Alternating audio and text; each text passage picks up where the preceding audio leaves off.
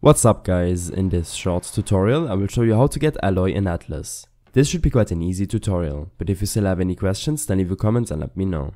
So first of all, you will need to unlock the Metallurgy, Secrets of Building and Chemicals and Tanning skill from the Construction and Mercantilism tree.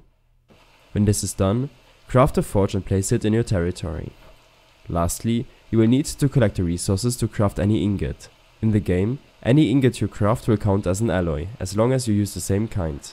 If the crafting recipe doesn't ask for a specific kind of ingot, then you can use the one which is more affordable to craft. If you're interested in more Atlas tutorials, then check out my tutorial playlist linked in the description below.